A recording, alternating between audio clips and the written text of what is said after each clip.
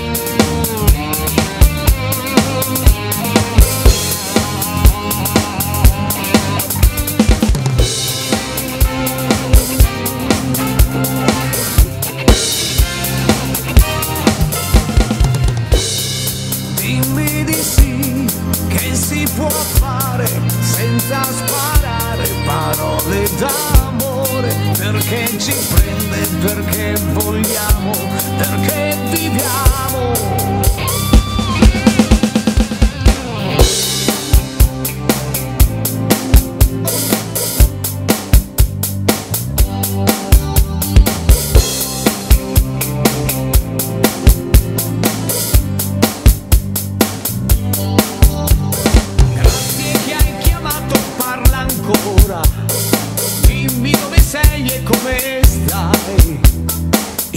su.